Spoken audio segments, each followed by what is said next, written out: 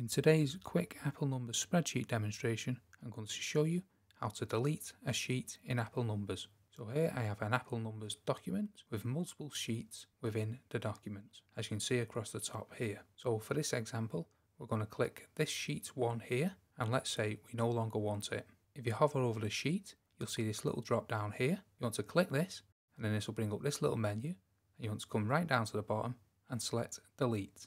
Now if you ever make a mistake, and think I didn't want to delete that sheet, before you do anything else, you can hold down Command and Z. This is the undo button and this will retrace your steps. So in this case, it'll bring back the sheet, as you can see. So to recap, you press the little drop down and delete, and this will delete the sheet. To add a new sheet, you want to come up to the top left here and select this little plus sign here, and this will add a new sheet to your document. If you want to rename this sheet, you want to double click it and then you just add a new name. So that's how to delete, recover and make a new sheet in Apple Numbers. I hope you found that video useful and if you did, check out this playlist here where we have many other Apple Numbers demonstrations like this. Thank you for watching.